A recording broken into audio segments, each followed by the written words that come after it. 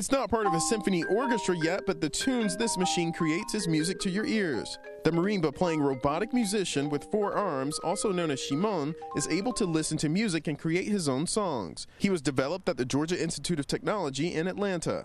We are focusing on let's invent what will be the new equipment and the new technologies that can enhance music and can let people play and create music in completely new ways. One of them is building robots. He uses artificial intelligence and large amounts of data to learn from artists like Beethoven and Lady Gaga. We've trained the neural network with a database that consists of a wide um, variety of music, encompassing everything from jazz, classical, to pop music.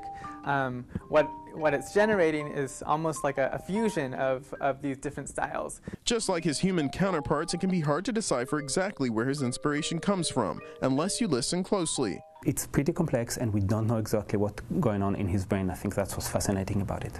Weinberg says the goal is not to replace, but to complement music created by humans. He hopes one day we could potentially enjoy a symphony created by both man and machine.